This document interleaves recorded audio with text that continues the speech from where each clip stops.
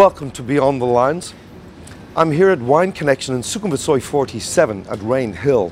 And today I'll be talking to American writer Jim Newport about his latest release, Yankee Dragon, about the Hollywood industry, his career as Hollywood production designer. Let's go talk to Jim. Hi, Jim.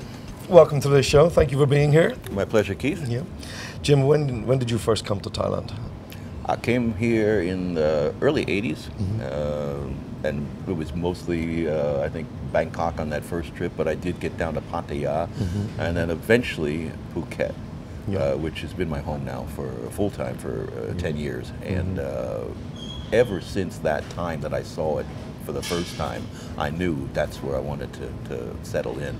Yeah. I'd been looking for an island. Yeah. I was looking for an escape from, uh, I was a Hollywood uh, production designer hmm. for quite a while, and that's a hard job to uh, uh, relax from because you work intensely for four, five, six months, mm-hmm. and you get three months off. And what do you do with those three months? You know, so I wanted a place that I could go and do something else. You know, to yeah. unwind. And in the back of my head, writing was something I wanted to try. Yeah, And I felt I needed the, the serenity of a place that, that I found in Phuket uh, yeah. to do that. You know. Relaxing, de-stress, and, yeah, and yeah, yeah, pick up pick up your pen. I mean, right? you, you, you know what it was like back in those days. I mean, there was nothing. You know, at, at night I'd be writing with a candle. You know, and uh, if I was lucky, some water buffaloes went by because there was no traffic. Yes, fantastic. It was really great. Today everything's so built up, and you really have to struggle to to find somewhere where I, it's tranquil. I go away now. but no, I still write there, and I still very very comfortable doing that and so forth. But I also now uh, spend a couple weeks every year at a little farmhouse in, uh, in France. Yeah, yeah, okay. Good. That sounds nice too. With, with some with some nice wine, I, oh, I, yeah. I hope. Oh, yeah. and tell me about Vampire of Siam because that's an interesting story. Vamp, you know, vamp, vampires and yeah. lurking streets and yeah. haunted Bangkok. Yeah, my beloved uh, Ramon Delacroix, the yeah. Vampire of Siam. Uh, I was trying to get a film made in, in, in Phuket, uh, uh an ecological adventure, and I was taking it around Hollywood to all the low-budget companies that would I thought would do this kind of a thing, and nobody understood it. They didn't know what an ecological adventure was, yeah. but they said, we make horror films, that's our niche. Mm-hmm. If you brought us a vampire film, we could talk. Well, vamp- it, it, wasn't a vampire script; it became a vampire book, yeah. and uh, and now there's there's four of them out, and uh, it's been a wonderful ride. And I uh, probably the next book I write will be uh, a fifth of a, a vampire book, which will I know what it is because I've written a short story, mm-hmm. which is it's the vampire in Phuket. So, oh, okay. Yeah. Same vampire. Same vampire yeah. comes to Phuket because my vampire evolved into becoming a hitman. You know, yeah. that was uh, one of the things that happened in his in his well, he's about ninety in his well. career. to do something yeah, with his time. He, exactly. he, he wanted to do something. He wanted to contribute to society. so he became a hitman, and uh, he gets a hit in Phuket. You know, he goes down to take care of this guy. You know, and uh, and the short story uh, is called Freedom, and uh, it's up on my website. You guys should take a look at it because it's it'll it's the lead into the next book. It's really fun. How how old would he be now? Oh, I think he was 175 when the first book came out, and that's now about 10, 15 years. So he's yeah. about 190, you know. Yeah, maybe okay. approaching 200 soon. He'll have his big 200 birthday celebration. Yeah, well, oh, maybe maybe that could be the launch of, uh, of, his new escapades in Phuket. Yeah. And what about um, is vampires by nature? You you don't really they don't come up in, on film, do they? So there's no, is there the photos, images? You know, uh, Keith, I deliberately stayed away from all of the vampire shtick uh, mm-hmm. in my first book. I read everything. I read Anne Rice. I read everything I could read, but I just decided I didn't need those rules. I didn't need garlic and crosses, and mm-hmm. and I, and and I just stayed away from them and mirrors and all of that mm-hmm. that kind of stuff. I'd said he's immortal, and in order to stay alive, he has to drink the blood of a, of a living being, a living human, mm-hmm preferably, mm-hmm. and uh, and he has to avoid the sunlight, so he sleeps at night. And he likes to sleep in a coffin just because he's very comfortable in it. You know, he yeah. feels secure. Uh, and that was it as far as my rules were. You know. Mm-hmm. Um, later on in the, for, in the fourth book, I needed a photograph of this guy to come about from the turn of the century, uh, which proved that he was this, he was alive for like hundred years, and mm-hmm. um, I needed a photograph. So I said, well, why not? He could be photographed, you know. So I've stayed away from all of the, mm-hmm. the, the other rules. Everybody seems to have a whole bunch of uh, rules. They seem to make them up themselves too. Mm-hmm. Yeah, great. Well, I look forward to seeing the next installment of Vampire of Siam. I do too. great. Is there a possibility of it becoming a movie at some point? Well, movie rights were, were sold fairly early on uh, to Millennium Pictures, and uh, Millennium has those rights. Uh, it's up to them to slot it into their calendar. Uh, I worked for them just recently here with uh, Jason Statham on uh, right. Mechanic 2, The Resurrection, and the producer on the set was the producer who's been assigned to the project, and we talked quite a bit about it. Yep. You know, so who knows? Because you, your essential, your, your career is a production designer. Yeah, that's what I did for uh, 40 plus years, uh, and still do. Yeah. Still do. Uh, that's the look of a film, basically, the production designer. yeah, yeah. So, which would give you a good perspective uh, visually uh, for the people reading reading your books. People who read my books, the comments are generally uh, he writes with a, a, a filmmaker's visual sense of, of the style. Yeah. Uh, and I also like the, the, I've written scripts as well Yeah, myself. Yeah. And I like, and a script is a very short little piece of work. Mm. You know, it's got all the, the, the type is right down the middle of it. It takes you two hours to read it, just like it does to watch it. And uh, books allow you me the luxury of describing everything in the room, everything, every every piece of uh, of uh, of, uh, of the set. You know, basically the setting. Yeah, yeah. And you- you've apart apart from in production design, you've actually appeared in a in a in Well- one or more. No, I, I, yeah. Occasionally, what'll happen The- is you're, you're on a film set and they'll uh, need somebody to go uh, uh, walk through the door, so you get an extras little bit on, it for just for the fun of it. Yeah, yeah, but on Cheech and. Chong's uh, Yeah. movie that I did called Nice Dreams, um, the uh, Tommy came to me one day after I had designed and built this magnificent marijuana nursery uh, on a tennis court. You know, it's just this incredible set. Also, originally was a set. Oh, it was a set. It was all uh, artificial marijuana. I mean, I, my art department, I'd never seen them so dedicated to a project. You know, oh, they just had the best time. Anyway, we're looking at this Mm-hmm. Ins- ins- magnificent set. inspirational. I'm- I'm Yeah, sure. we're looking at this incredible set, and Tommy Chong says to me, "We shoot tomorrow, Jimmy. There's something missing." And I'm thinking, God, what's missing? Is everything's here? He says, "I need the genius who does this for us. We, Cheech and I couldn't do this." I need the mad scientist who runs this uh, this uh, lab, The lab, medical yeah. lab, Under the swimming- it marijuana was in the lab. swimming It was- pool. well, that was the greatest thing was that Yeah. Tommy said, "I want this to be covered with a canvas that's a painting of a swimming pool from the air. So when the aerial surveillance comes over looking for marijuana in the in the People jungles growing, and, the, yeah, yeah. and, the, and the forests and all this, it looks like a swimming pool from Genius. the air." Tommy said, "He said I never thought we'd be able to pull that off, Yeah. but we did, and it was Yeah, yeah. great. And over the years, because I'm in that scene, I meet people and they go." You're the guy in the in the in the in the in the in the Cheech and Chong movie, right? And they go, dude, that was so cool. The swimming pool cover, man. I painted the top of a garage and put it over my marijuana plants up in uh, in Big Sur, and the cops never found it. You know? yeah, yeah, yeah. It was a genius idea. Uh. I, actually, I remember seeing you in that in that movie. Yeah, well, a lot of people do. I still, I, I don't get recognized much anymore, but the people who Yeah. saw me in that movie saw me again and again in that Yeah. movie because they would watch it over and over Yeah, again. yeah. Well, I heard rumor that uh, they might be going out to make a, another another movie. I, I got a script uh, just last week from uh, from them uh, for a new movie that they haven't signed off on it yet, but they wanted me to take a look at it and let them know what it would involve. And I said it's pretty big, guys, you know. But Yeah. uh, yeah, hopefully they, these guys haven't done a movie together in about 15 years. Yeah, So hopefully this will be the first one when they come back. You're very into music yourself. Uh, I am in in Hollywood. Uh, uh, for a while there, I uh, had my own band, and I would write. Uh, I was a singer-songwriter, and I would perform only the material that I that I controlled, that I wrote.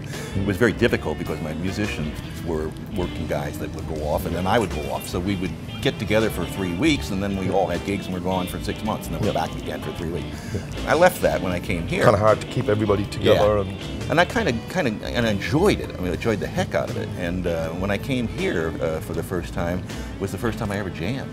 Yeah, and I yeah. think it, it was like you and guys like Dr. Blues and uh, Jeff with the Soy Dogs that allowed me to step on a stage and, and do Bluesy G. Yeah. And I found out that it was a lot of fun.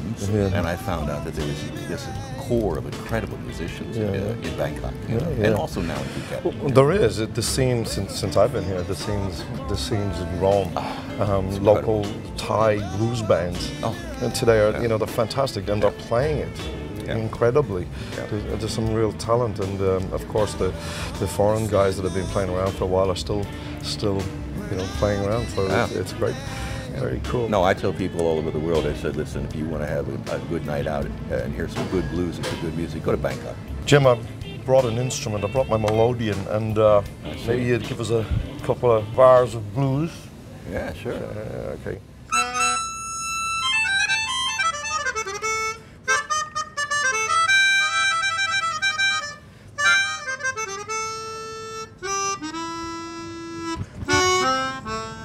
There is nothing I could do if you leave me here to cry.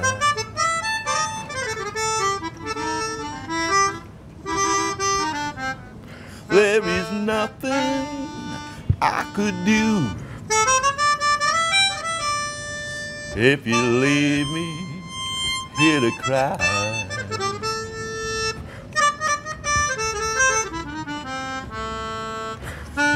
You know my love will follow you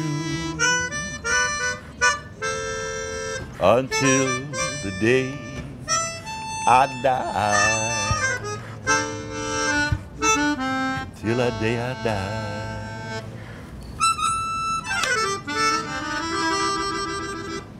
Yeah. Jim Newport, ladies and gentlemen. Jimmy Fame. Jimmy Fame Oh. on stage. Jimmy Fame. Jim, tell me about Yankee Dragon. This is your latest book release, isn't it? Yeah, this one here, I'm, I'm very, very proud of this. This just came out. This is literally available now on Amazon in all formats. And uh, there'll be an audiobook out uh, shortly as well, which is for me a treat because that's the first one of my books that's Okay. out in audio form as Yeah, well. yeah. But this book was something that I thought was lost. I wrote this book 25 years ago uh, when I was working on a project in Japan. And uh, I, I never published it. I never uh, got it uh, out to uh, anybody other than uh, a few people saw it, liked it. But I was basically becoming a Bangkok writer, a Thai writer, and uh, and this was my deals were, were with Asia Books, and Asia Books didn't know how to how to market a book that was set in Japan at Yeah. that time. Yep. So I, I I put it away. Well, frankly, I lost it, you know, because it was written on an old computer that no longer exists, Yep. and the formats don't exist, and all that stuff. Yeah. I went to Japan this spring just for a trip to take my wife to, to look Mm-hmm, around Japan. I looked up an old friend, and she and I, I know, had shared this experience, and I had given her a copy of it. And I said, Mm-hmm. "Do you, any chance, have a copy of this?" And she did. Oh, And I'm like, fantastic. oh my God. So we got it scanned and I Mhm. got it back in my hands and I went through it and I reformatted it for contemporary uh, uh, market, et cetera, and so Mm-hmm. forth. And I sold it to this uh, company, uh, California Times Publishing, as Mm-hmm. the first book deal that I have with them. So I'm very, very happy So- that it's out. It's something that was a, I thought Back was from the abyss. It, back it was lost. abyss. It was lost. back. It's a lost book. Wow, Yeah. fantastic, fantastic. Yeah, yeah. yeah. And it's a lot of fun because it's it's in the same theme as Tinseltown, Mm-hmm. which is a standalone book. Basically, uh, it's Tinseltown and Chasing Jimi are not the, obviously the vampire books. Yeah. So there's a standalone books, and Tinseltown is a Hollywood novel, Yeah. and I, I like to to write Hollywood novels. This is Yes. this is another Hollywood novel, Yeah. even though it's about making a movie in Japan. Mm-hmm. It's the experience of Hollywood filmmakers dealing with Japan and all of those There was a lot going culture on. culture clashes. There was a lot going on in Japan at that time when yeah. American Hollywood companies or movies were Nin- actually 1995, there were, 1995, there were two big incidents that happening on, on the different continents. Mm-hmm. And happening in Los Angeles was the writer's strike that crippled the industry for two or three years. A lot of people, myself included, found themselves out of work for two years, and a lot of people left the business. It was very, very rough. Yeah. In Japan, if you uh, were, were in Japan, you were, you were now in an economy that was the bubble boom was going Mm-hmm. on. I mean, Japan Inc. was, the, you know, this much footage uh, where we are, Keith, would be a million dollars. You know, right here, and we're surrounded by our couches and really? chairs. Yeah, if you were in Tokyo. A year? And, well, a, million dollars to buy it. You know, I mean, just that. You know. So we, uh, if you were making films, Black Rain was was being made over there Yes, before I we got there, and uh, it was an incredibly frustrating Mm. experience because the costs were astronomical, and the uh, the dealing with the. The, the culture, the ancient culture, was so hard for Hollywood. Mm-hmm. What year was this? This is This was 95, 96, in that, in that area, early early 90s. Yeah. It kept on going until about 97. I think the bust was around 97, Yeah. around the same time. as the. Asian crisis Yeah, around yeah, 97. yeah. That's right. So, um, so I was on a film project over there that was Mm-hmm. uh, facing these same problems. Everything, the costs were running out of control. Uh, people didn't know how to deal with the, the Japanese counterparts that they were working with, and. Uh, and I was just fascinated at the stuff that was going on around me. So I started to keep a journal, and the journal turned into a book, turned into a Yeah, fictional, so there's a lot of book, a lot of fictional book. history in Yeah. It's, it's a great title, Yankee Dragon. It's, Yankee it's- Dragon It says Yeah. it all. Well, Yankee Dragon uh, was uh, was actually one of the names we came up for the movie at the time because the the movie was about a baseball player that gets uh, sent over to Japan, uh, American baseball player. So he's a Yankee Dragon. Ah. Yeah, you yeah, know, yeah. So, but that wasn't the title of the movie. The movie was actually Mr. Baseball Ah. with Tom Selleck. Oh, yeah, with Tom Selleck, really? Yeah. Yeah, okay. That was that was the film. That was the real film that I was working on. Yeah. A, a, a- rotten day in paradise. I love Tinseltown, the, another rotten day in paradise. It's fantastic, Yeah. fantastic. I like the way you you connect music and and Hollywood, and Mm. because you were there, you were you were behind, and, and it's really behind the scenes. So there's Yeah. a lot of history, but a lot of um, truth Yeah. Being told Yeah. in, in your books. Yeah. Well, one of the things I talk about in uh, in Tinseltown is that my career started in the '70s in Mm-hmm. uh, in Hollywood, and that was the Roger Corman days. You know, the the first low budget movies were breaking the barriers of the studio controlled Mm-hmm. Yeah, yeah. pictures. So kids like us were able to make movies, you know, and uh, and get a lot of experience doing it. Mm-hmm. But those 30 years or so uh, of the, the films that I worked on uh, were incredible because things really happened in front of you, in front of the camera, in front of us. All Yeah. special effects, visual effects. There were no visual effects. It was all special effects, and Uh, these were yeah. these were things that happened right in front of the camera. If the camera didn't film it, it didn't happen. Oh, yeah, you know. okay. So we had the, exposure to There's the no most CGI or- amazing. There was no CGI. So we, we were exposed to the most amazing stunts, effects, and things Mm-hmm. like that. We would go to incredible locations, you know, because you had to, you know. Uh, I, I think it was just so much more fun.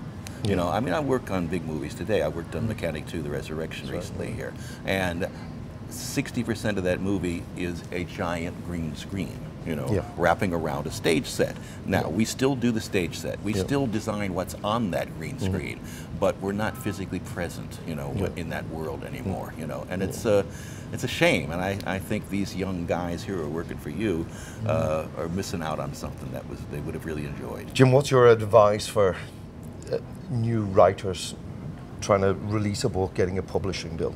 Well, the, the, the first thing that people always ask me is, how do you do it? How do you how do you write a book? I mean, I, Mm-hmm. I, I've got an idea and I want to do all this stuff, and I say, you see this, and you see this, make sure you always have a little notebook and a pen with you because you never know when that idea is going to come, and you want to put it down. And then when you're ready to sit in front of the, the computer, Yeah. uh, you've got your notes. You know, keep a file and throw every thought about a book that's percolating in your brain into it. Yeah. When you're ready, you don't have to have the book plotted out. Yeah. None of my books that I've written here, when I sat down to write them, did I know how they would how they would end. I didn't know how they would end. You know, I knew who the characters were. I knew Yeah. what the setting was. You had a and I, and I knew how it started out and what the point of the book was, you know. But I didn't know the trip it was going to go on. Mm-hmm. Yeah. That, and for me, that's the most fun. Yeah. Mm-hmm. Because you're really learning the story as you write it, you know. And Yeah. it's like, and you wake up in the middle of the It's night. evolving uh, as, as you write it. Yeah, and you wake up in the middle of the night with these crazy ideas, or you write stuff that you don't remember Yeah. uh, because maybe you consumed something while you were writing it. You know, because I do a lot of writing in France. and I quite must- possible And I must admit, there's a lot. Thailand. Of, there's a lot of well, in France when I go over there every year, Mm-hmm. I, I spend about two weeks of doing serious writing. Mm. There's a bit of wine that's consumed in that Mm-hmm, point in time. You know, and I sometimes look at the pages the next day and I go, where did that come from? You know, it's like, wow. You know, then I realized, oh yeah, that church bell was ringing outside that cafe, and suddenly that church bell ringing outside that cafe is now in my, my story Ah, for a reason. fantastic. You know, Yeah, stuff yeah, like that. Just you go, how did I ever think of that? Oh yeah, that's what happened. You know. Yeah. So it's just enjoy the fun of writing a book. Make sure you once you start it that you continue to to religiously write. You know, don't Mm. stop, don't give up. You know, you got to just write every day, and you've got to get the damn thing done. you know. And reading other authors that might inspire you. Reading authors that inspire you is, is always uh, terrific. That's what I do all the time. You know, I uh, I now carry a Kindle loaded with all my favorite authors, and I'm Who would be one of your favorite authors? Well, right now it's uh, it's a guy by the name of Richard Stark, who is actually a synonym for the uh, writer Donald Westlake. Uh, he wrote a whole series of pulp uh, books called uh, about a character called Parker, and there's about 28 of them. and I'm up to about book number 26 right okay. now, and they're just the most fun. You know, and there was a movie made recently where uh, Jason Statham played Parker with Oh, yeah. uh, with Jessica uh, with uh, J Lo with, with Jennifer Lopez. Okay. Uh, so that may lead to uh, uh, more of those movies, which would Mm. be kind of fun. I also read uh, Lee Child's uh, the the Reacher books. You know, uh, I read Michael Connolly, who's uh, who writes Hollywood uh, homicide stories. Mm-hmm. Yeah, Uh, I read uh, James Lee Burke and, uh, and I read James Ellroy. These are the guys that I read. I like. James Ellroy too. Yeah. yeah, yeah. yeah, James nice. Ellroy, I met him. And I met him when I was uh, uh, about to start chasing Jimi. Yeah.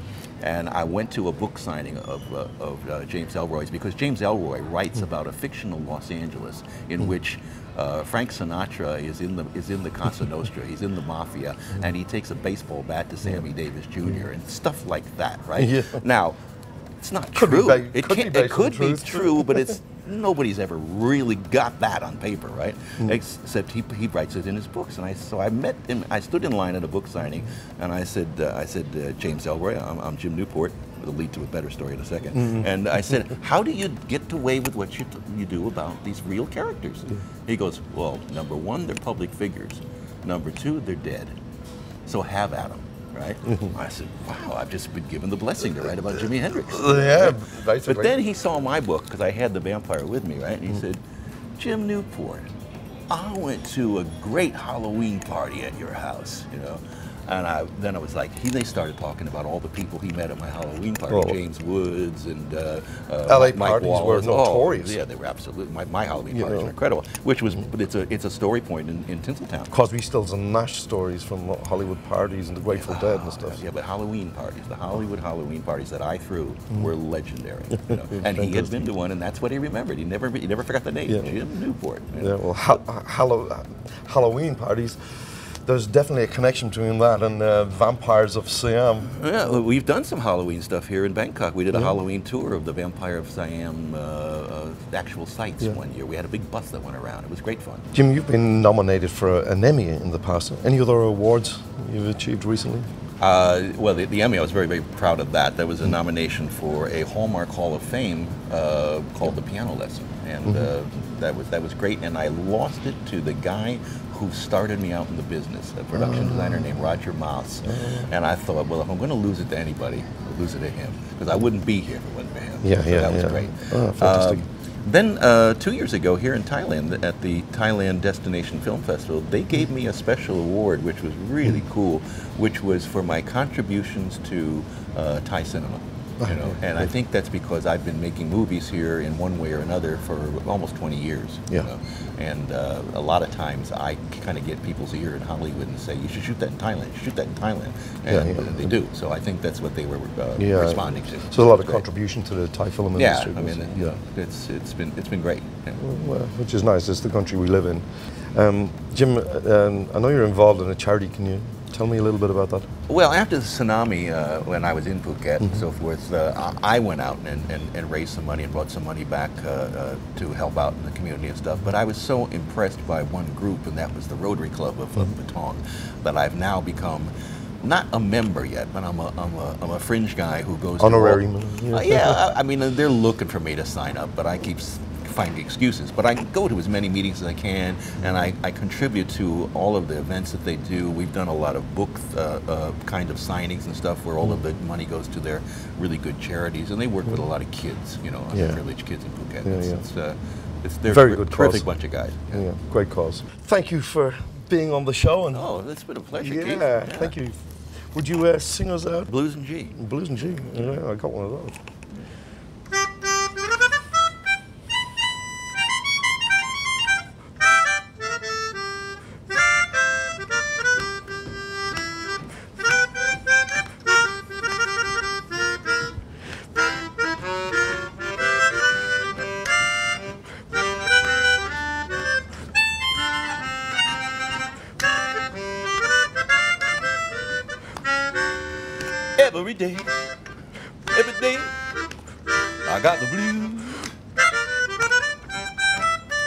Every day, every day, I got the blues.